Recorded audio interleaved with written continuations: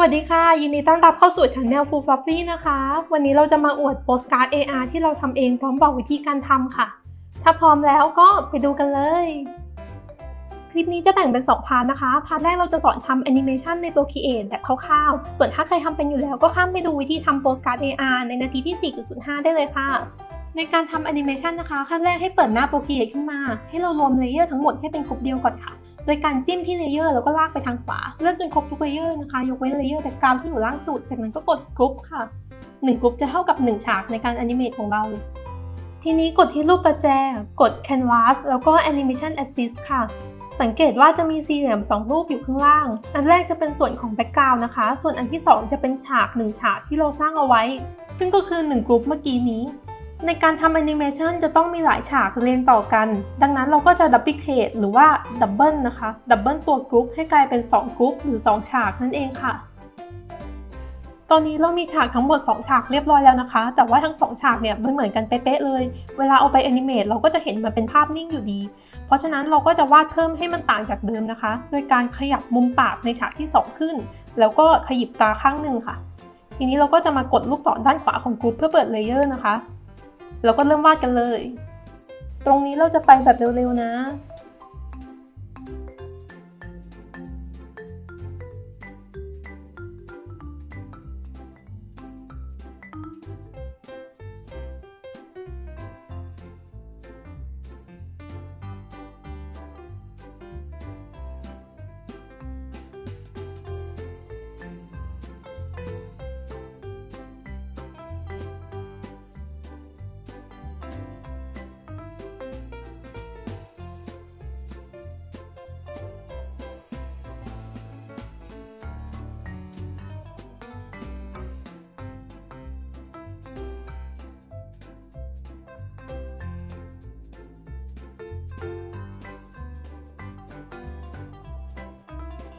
มาลองกด play กันดูค่ะโอ้เร็วมาก เร็วเกินไปนะคะ งั้นมาที่ Setting ก่อนค่ะ เราจะปรับจำนวน frame ต่อวินาทีให้น้อยลง ให้มันเหลือสัก 7 frame ก็พอ อ่า พอใช้ได้แล้วค่ะ แต่ว่ามันยังไม่ smooth พอ เพราะเราวาดไปแค่ 2 ฉาก เดี๋ยวเราจะเปิดผลงานที่เราวาดไว้จนเสร็จแล้วให้ดูนะคะ ซึ่งมีทั้งหมด 12 ฉากค่ะ ยิ่งจำนวนฉากมีมากเท่าไหร่ การขยับก็จะยิ่ง smooth ขึ้นมากเท่านั้น นี่ค่ะ12 ฉากที่วาดไว้ ไม่มีฉากไหนเหมือนกันเลยนะคะ โอ้โห 12 ฉากกับการขยิบตาครั้งเดียว ตาเขาจะค่อยๆค่อยๆค่อยๆขยับ มันก็เลยแนบเนียนกว่าเมื่อกี้เยอะเลยค่ะ ขั้นตอนต่อไปคือการ export ออกมาเป็นวิดีโอ กดที่รูปประแจนะคะ ไปที่แชร์แล้วก็ animated mp4 กด export เลยค่ะ เรียบร้อย แล้วก็กด save วิดีโอ แค่นี้ก็เสร็จแล้วค่ะ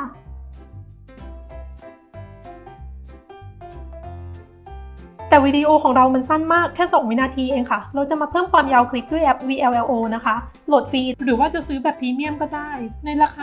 699 บาท ขั้นต่อไปให้กด create วิดีโอแล้วเลือกคลิปที่ต้องการค่ะ แล้วก็จะเห็นหน้านี้ กดไปที่แถบแสดงคลิปด้านล่างนะคะ แล้วมันจะมีปุ่ม duplicate จิ้มเลยค่ะ จิ้มสัก 4 ที คลิปเรามันก็จะถูก duplicate ขึ้นมา แล้วก็ยาวต่อเนื่องกันแล้ว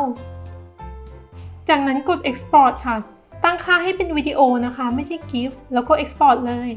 เรียบร้อยแล้วค่ะ แต่เมื่อกี้เราลืมทำอีกสิ่งหนึ่งไป คือการ save รูปหน้าปกคลิปนะคะ งั้นเราจะกลับไป save ใน Procreate ก่อน save เป็น JPEG ค่ะ รูปนี้จะใช้เป็นรูปที่ปรากฏในโปสการ์ดด้วยนะคะ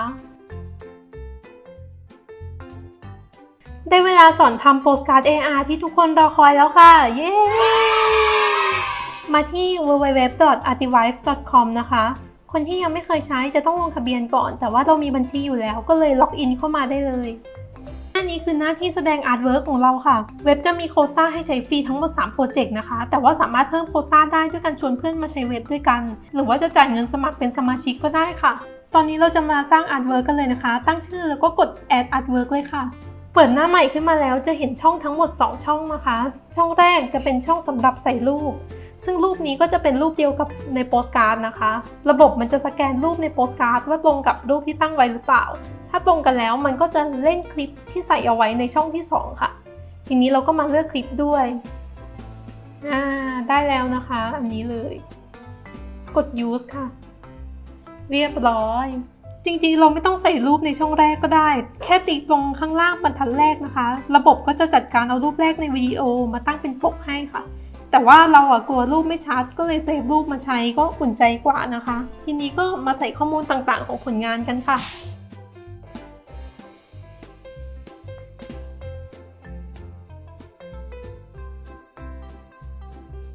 พอเสร็จแล้วก็กด add เลย ระบบจะประมวลผลนาน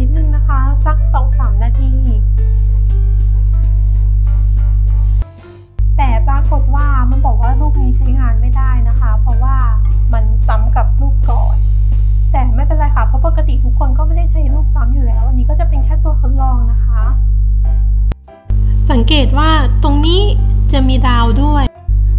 ดาวหมายถึงความเร็วในการที่วิดีโอจะปรากฏขึ้นมาหลังเราเอามือถือไปสแกนรูปนะคะ สีดาวเนี่ยเราเอามือถือวางแป๊บเดียวปุ๊บ มันก็ปรากฏคลิปขึ้นมาแล้วค่ะ ตอนนี้เรามาทดสอบกันเลยดีกว่าค่ะ ก่อนหน้านี้เราเอารูปไปปริ้นเป็นโปสการ์ดมาเรียบร้อยแล้วนะคะ แล้วก็แอบจิกโทรศัพท์น้องมาถ่าย น้องเรามันเขินรูปวอลเปเปอร์มากเลย ก่อนอื่นต้องโหลดแอป a d v i c e เข้าเครื่องก่อนนะคะ แอปจะหน้าตาแบบนี้ แล้วก็เปิดเลยค่ะ ผลแห่งความเร็วระดับ 4 ดาว สแกนไปไม่ถึงวิคลิปก็เล่นได้แล้วค่ะ